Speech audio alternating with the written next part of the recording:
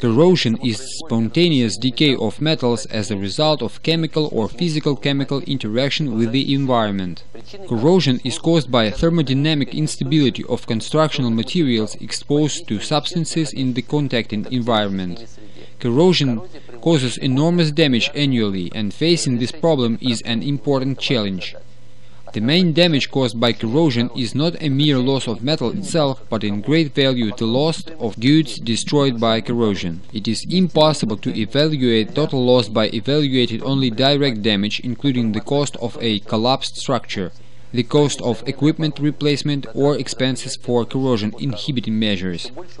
Indirect loss is even greater. This includes shutdown of equipment during the replacement of corroded parts and units, leakage of products and violation of workflow. Galvanization is the application of zinc or its alloys to a metal product to give its surface certain physical-chemical properties, including, first of all, high corrosion resistance. Galvanization is the most popular and cost-efficient metallization process used for protecting iron and its alloys from atmospheric corrosion. About 40% of the world's extraction of zinc is used for these purposes. Steel sheets, brands, wire, mounting parts, machine and device parts, and other metal structures are galvanized.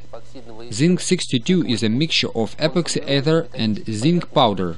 It forms strong galvanic film on metal surfaces. This metallized protective film plays the role of an external barrier for corrosion.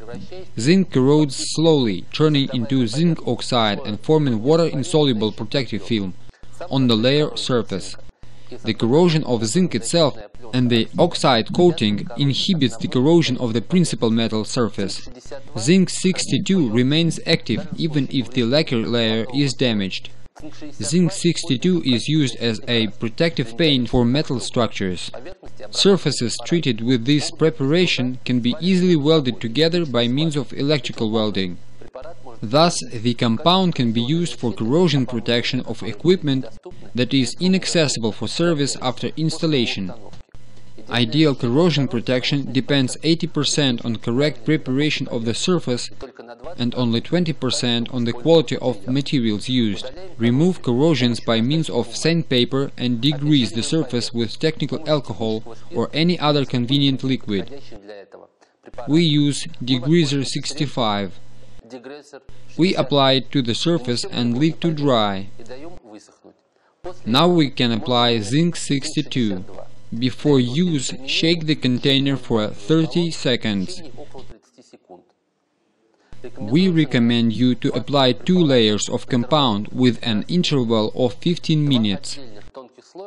Two separate layers are more efficient than a single thick layer.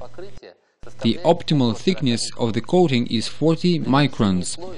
The ambient temperature is to be no less than 10 degrees Celsius, the temperature of the treated surface being at least 5 Celsius and 3 Celsius above the dew point.